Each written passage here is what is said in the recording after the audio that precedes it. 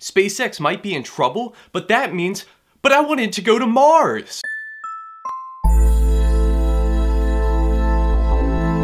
Welcome back to the weekly roundup. My name is Jack O'Brien. It looks like China is not having the best start to the new year. Well, I mean, technically it's not the new year in China because they're on a different calendar, but that's not the point. The beginning of January has brought about record amounts of smog into Chinese cities such as Beijing. But the real question is why is this happening to China even though they've reduced their pollution over the past couple of years? Well, China is in a different part of the world that has unique weather patterns from parts of the West. And during the past two years, weather patterns from the strong El Nino created unfavorable conditions which trap pollution in a more localized area.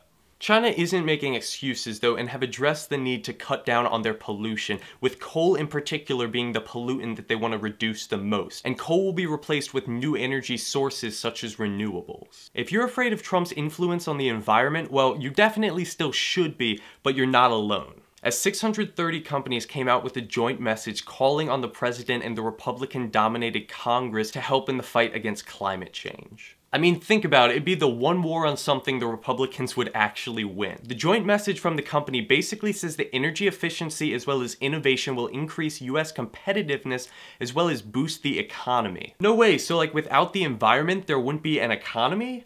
Crazy. But maybe they like the environment more than we think, as the US military has just developed a type of ammo that is biodegradable and then grows into flowers. This is in an effort to reduce the environmental impacts that training rounds have on the environment. Basically, the United States and other countries use a lot of ammo for training, and that does have an impact on the environment when scaled up. So to offset this, ammo has been created that is biodegradable and holds a seed that sprouts months later. This plant can absorb many of the toxins from the bullet as well as converts it into usable energy.